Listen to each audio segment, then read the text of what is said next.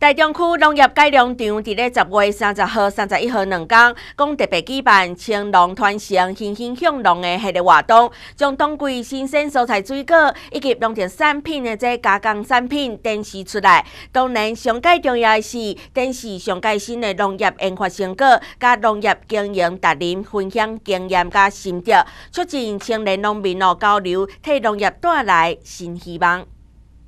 林友信农业新秀，原本伫南部知名机械工程公司做事，放弃百万年薪，为着妈妈甲太太，决定转读，为门外汉变成专业的农民，找到事业的第二春。我们的小黄瓜从它的幼苗一直到我们采收，绝对没有用到半点有毒的呃产品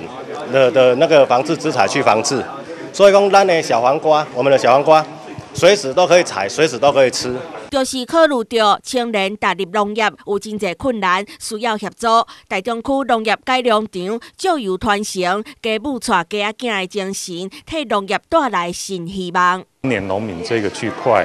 啊，因为我们农业必须要老中青一起结合嘛，哈。青年农民进来对我们的产业很有帮助。那今年就是用传承的方式，哈，青年农民传承的这些过去农业的一些技术。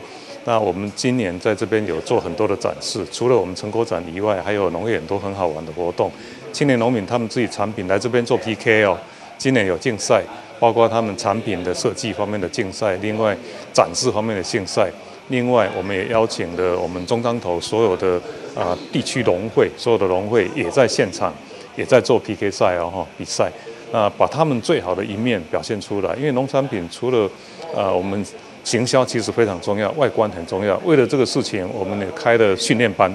我们曾经邀请老师、专家来替他们说如何来摆设这些产品哈。就是这款传承的理念，十月三十号、三十一号两天，伫咧大中区农业改良场内面，要来展示中中岛各农会特色农业产品以及青年农民的农业成果。园林有很多的产品，希望大家啊能够过来这边参观。以及推广，还有我们园林在地的蔬果，非常的健康。这两天民众来到这，有食，够汤耍，农会特色竞赛、青年农民的歌唱比赛、DIY 活动、特色美食料理，欢迎乡亲有缘来这佚佗，欣赏农民的辛苦付出。